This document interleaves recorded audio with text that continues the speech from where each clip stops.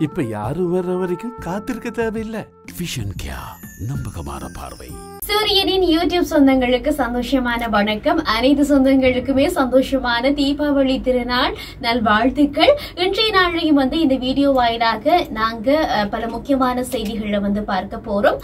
இங்கிலாந்தினுடைய பிரதமர் லிஸ்ட்ரஸ் வந்து பதவி விலகியது சம்பந்தமான முழுமையான செய்திகளையும் இந்த வீடியோல பார்க்க போறோம். வாங்க பார்க்கலாம். இங்கிலாந்து பிரதமர் போரிஸ் ஜான்சன் பதவி விலகியதை தொடர்ந்து இங்கிலாந்துல பிரதமருக்கான போட்டி இடம்பெற்றது. இந்த போட்டியில் இறுதிப் போட்டிக்கு இந்திய வம்சாவளியை சேர்ந்த ரிஷி சுனக் அதே போன்று லிஸ்ட்ரஸ் ஆகிய இரண்டு பேரும் வந்து தெரிவு செய்யப்பட்ட நிலையில இரண்டு பேருக்குள்ளும் வந்து கடும் போட்டி நிலவியது. இந்த நிலையில இறுதிப் போட்டியில லிஸ்ட்ரஸ் பிரதமராக தெரிவு செய்யப்பட்டாங்க. அப்போது பிரிட்டன் ராணியாக இருந்த இரண்டாம் எலிசபெத் பதவி பிரமாணம் செய்து வைத்தாங்க. லிஸ்ட்ரஸ் பிரதமர் ஆன உடனேயே இங்கிலாந்தின் பொருளாதாரத்தை நிலைநாட்டுவேன் அப்படின்னு சொல்லியும் வரி விதிப்பு தொடர்பான திட்டங்களை முன்வைத்து நிறைய வாக்குறுதிகளை வந்து கொடுத்தாங்க. ஆனா அது எதுவுமே அவருக்கு கை கூடவில்லை பதவியேற்று நாற்பத்தைந்து நாட்கள் முடிவடைந்திருந்த நிலையில தன்னுடைய பதவியை வந்து ராஜினாமா செய்திருக்கிறாங்க. இந்த விடயம் அனைத்து மக்களையும் அதிர்ச்சிக்குள்ளாக்கி உள்ளது பிரிட்டன்ல தற்போது பொருளாதார தடுமாற்றம் ஏற்பட்டுள்ள நிலையில தொடர்ச்சியாக இரண்டு பிரதமர்கள் வந்து பதவி விலகியது கன்சர்வேட்டிவ் கட்சிக்குள்ள மீண்டும் சலசலப்பை ஏற்படுத்தியிருக்கு. அக்டோபர் மாதம் இருபதாம் திகதியன்று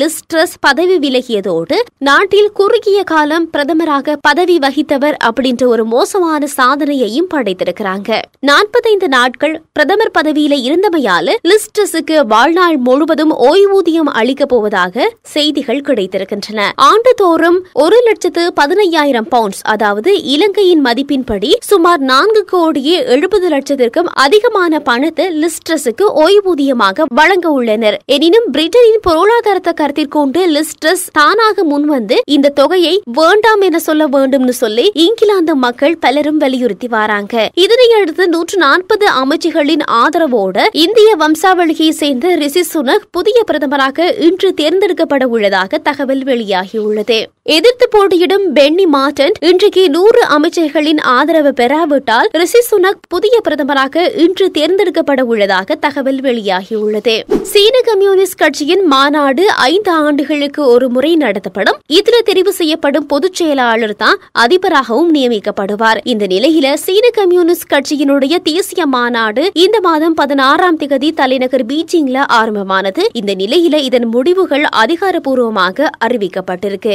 சி ஜின்பிங் மீண்டும் மூன்றாவது முறையாக அதிபராக நியமிக்கப்பட்டிருக்கிறாரு. இவருக்கு பல நாட்டு தலைவர்களும் வாழ்த்துக்களை சொல்லி வராங்க. சரி இவைதான் இன்றைய நாள்ல நாங்க கொண்டு வந்த செய்திகள். மீண்டும் மற்றொரு வீடியோல இன்னும் பல சுவாரஸ்யமான செய்திகளோடு உங்களை நான் சந்திக்கிறேன்.